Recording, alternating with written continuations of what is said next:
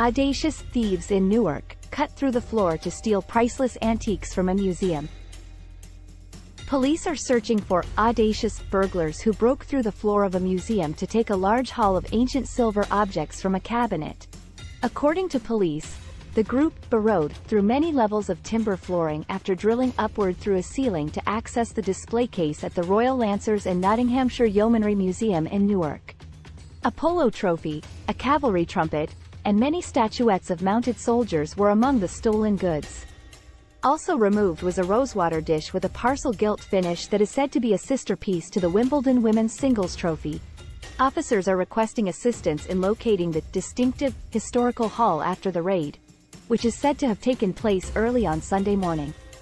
Museum curator Steve Cox said, It's disgusting that they've taken history from the people who have served and fought for this country. He added, the items they have taken are priceless to the museum. How do you put a value on history? We're upset about it, but we're fighting back and we're going to rebuild from what's gone. Detective Inspector Luke Todd, of Nottinghamshire Police, said, This was an audacious, planned, and targeted attack on what is a wonderful historic building and was clearly very well organized.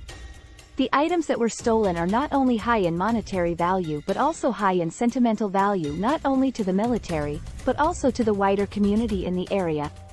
These items are worth so much more to the museum than they are melted down in their silver form.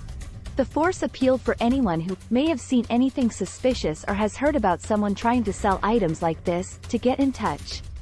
Detective Inspector Todd added, These criminals may think they've got away with a lot of silver at this moment in time, but they definitely haven't got away with the crime.